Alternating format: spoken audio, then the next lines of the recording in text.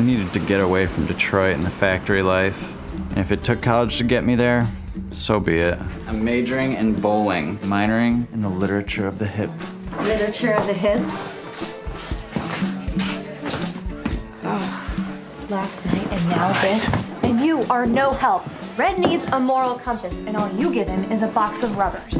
We just have so much in common. Two redhead messiah complexes. It's a miracle. You're like a mirage that turned into a sandstorm. Now, how are you getting back to Mount Pleasant? I don't have a car.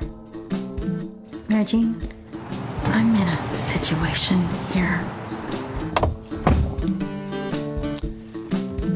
Hey, Watch your boots back there. Wouldn't it be great if you could just push buttons and change the sky? Now you're sleeping with guys who wear tinfoil hats.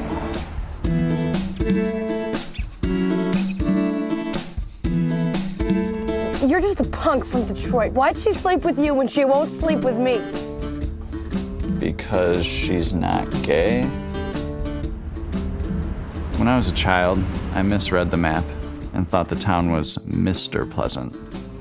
I was sorely disappointed when I discovered the truth.